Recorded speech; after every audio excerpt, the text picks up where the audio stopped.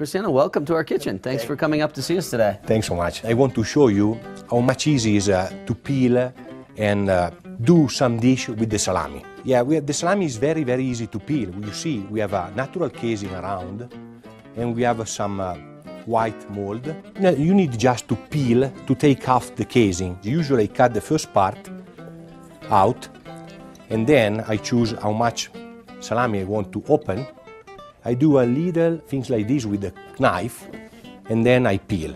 It's very, very easy. It's like when, when you peel a banana. You take the slice, just gently you take out the casing. Very, very easy. When, we don't, when you don't use the salami, you put it in the refrigerator and you cover it with plastic.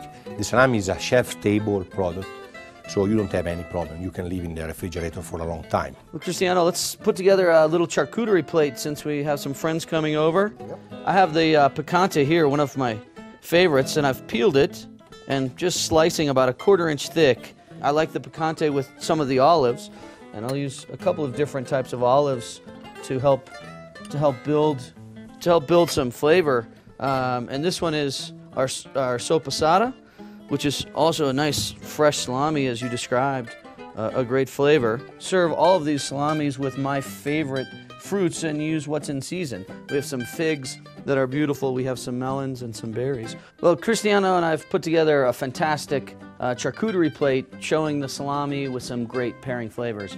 But a lot of a, a lot of people don't think they can go beyond charcuterie plates to some other things. And it's great to use salami in different preparations and carry it throughout your meal and throughout your cooking.